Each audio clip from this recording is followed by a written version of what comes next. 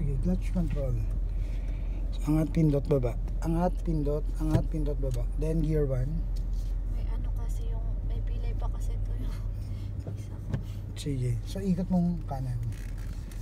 Sige, three part lang. Tama na yan. Sige, bitaw ng brake, then clutch control. So, parang lalapit lang tayo dun. So lalapit ka dyan. Yan, okay. Sige, lapit ka. Okay, then dito ka banda. Yan, okay. Sige, labog mo yung clutch. Okay, abanti mo pa konti. Tutuwid mo yan eh. Pantay mo. Yan, clutch and brake. Okay, then tuwid. So tuwid mo yung gulong. So ganito ate, no? Kapag ka, abanti mo pa. Sige, abanti mo. Bitaw ng brake. Abanti mo konti. Sige, sige pa. Okay, clutch and brake. So yan. So kapag kaliwa ang pupuntahan, side parking ng kaliwa. So baba mo yung mirror mo sa kaliwa. Down. Eh, ganito mo siya, right? Sige, right mo. Yan, sige. Sige pa, okay. Tama na yan.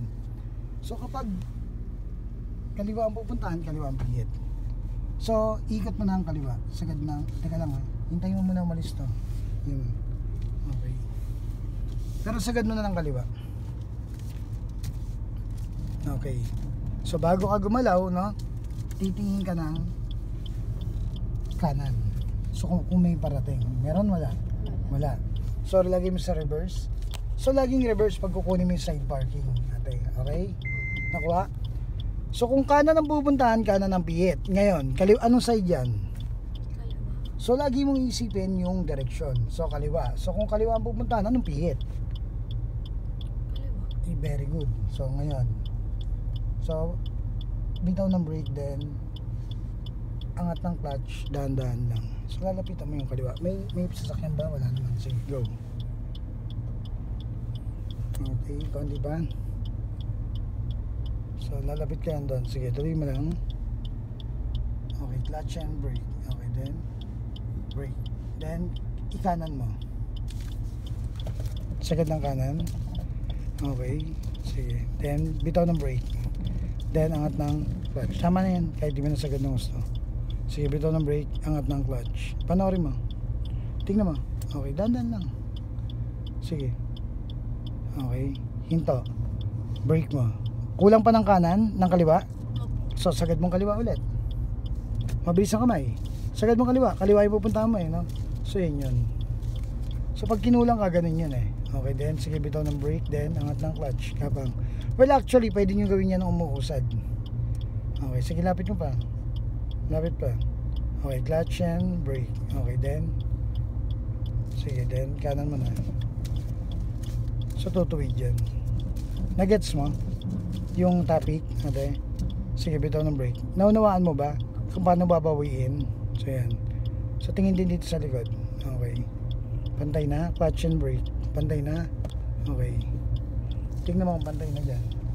Hindi pa? So, bitaw ng brake then konting angat ng clutch. Konting-konti yan. Sa mirror ka tumingin. Sige, clutch control. So, yan yan. Sige, konti pa. Okay, clutch and brake.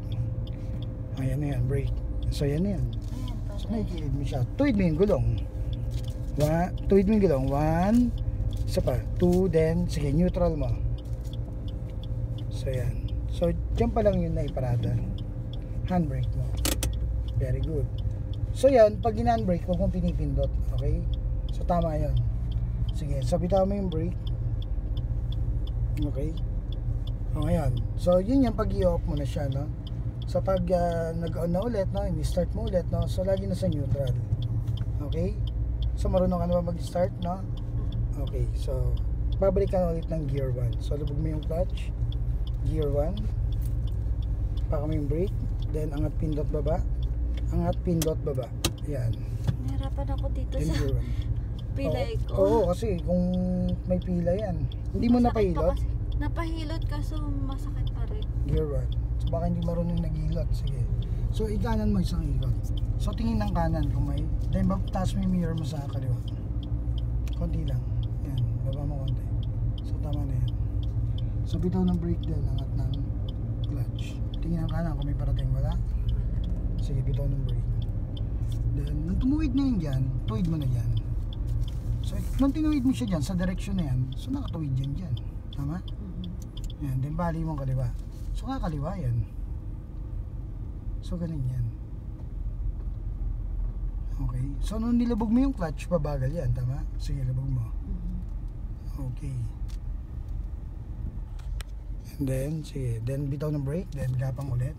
So pag mo na yung kapit ng clutch, huwag mong bibiglayin. Okay? Clutch and brake, hinto. Okay? Sige. Okay.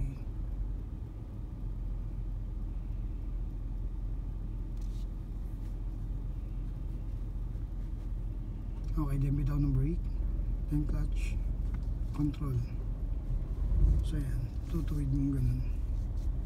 So yun. Okay, kaliwa mo. Iwasan mo yun.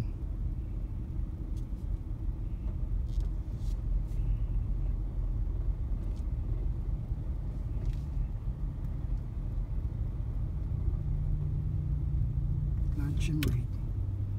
Sabit ako ng brake, then angat ng clutch, gabang. Kuya, kuya. Ha? Si kuya, biglang lumilita mo. Sige, bitaw ng brake. Clutch control. Sige, kaliwa mo dyan. So, nung marami silang ganyan, pila-pila, no? So, ilulubog mo yung clutch ngayon. So, pipila ka rin. Sige, bitaw ng brake. Then, gapang, clutch control. Huwag ka lang gagamit ng gas. Sige, lubog ng clutch, then brake. Okay. So, ganyan ang senaryo. Ganyan ang magaganap. Di ba? Tama? Tao. Oh. Sige, bitaw ng brake, then clutch control. Okay. Naunawaan mo, ate, yung topic sa liko. So, yun yung araw-araw mong gagawin. Bitaw ng brake. Okay, then, ang hirap, di ba? Stressful ang manual. Sa una lang yan. Clutch and brake. Oh, sa una lang yan talaga. Di ba stressful sa pagtuturo? sa bitaw ng brake, then angat ng clutch. Gabang lang.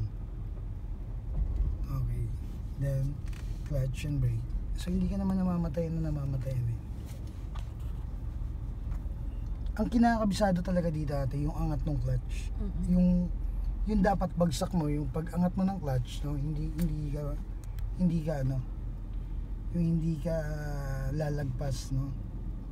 So para hindi siya namamatayan so ganun lang pagdadrive ng manual ha okay? So yan. Okay lubog mo yung clutch. Then brake full stop. So yun yun. so ganun lang